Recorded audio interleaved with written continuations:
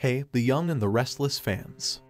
Welcome to a new video of Celeb Hub. According to the Y&R spoilers, after the lawsuit is over, Devon Hamilton might take significant and bold action. Although Devon rarely receives grand gestures from Tucker McCall, perhaps some of his extravagant romantic behavior will start to influence Devon. Devon recently commented that he was with someone, but he didn't know where they were, so he took a step back. Devon was reassured by Abby that there was no need to categorize their relationship and that they could work things out after the court case. Devon and Abby are essentially acting as if they're dating right now, though. Devon might be prepared to go even further once this court fight is over. It would be interesting to see Devon begin acting somewhat more like Tucker in terms of risk-taking romantic gestures and squaring off against his opponents.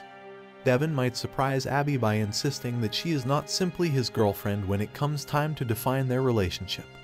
Does Devon want Abby to be his fiancée and eventually his wife? Devon has already made clear to Abby and Dominic Newman Abbott Winters Chancellor the value of his family, so he might grow more connected to the concept of the allied little bubble they're forming. Devon might decide that he knows Abby well enough to forfeit most of the dating process and jump right to engagement.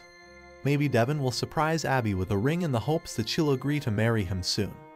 Will Devon get down on one knee to propose? On Y&R, marriage proposals are a great way to stir things up.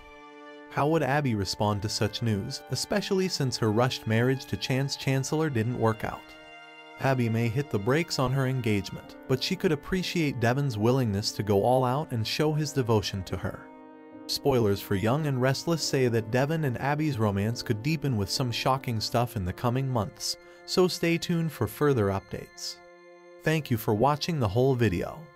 Please subscribe to our channel and press the bell icon for notifications. See you in our next video.